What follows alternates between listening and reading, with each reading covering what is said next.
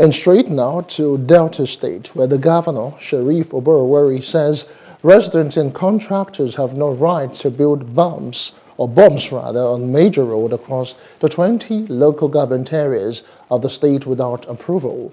Speaking through the State Commissioner for Works, Rural and Riverine Roads, Charles Aniagwu, the governor recalled that two weeks ago, the government released a sum of 30 billion naira to various contractors to fund ongoing projects across the state.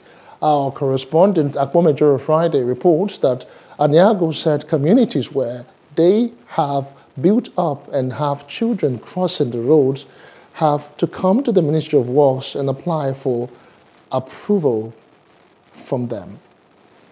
Community where you have a whole lot of built up areas and you have children crossing the road, they will need to come back to us as a ministry, we will examine it and look at the need. We are not saying you won't have bombs in some co uh, corridor, but it's going to be bombs that will serve both the community and serve the motoring public.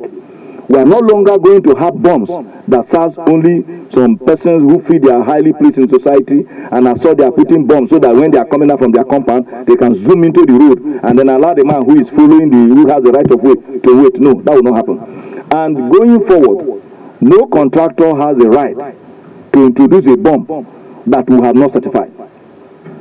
No contractor has that right. Any bomb, the ministry must agree and ask the contractor to introduce that bomb because it will serve the community, it will serve the motoring public.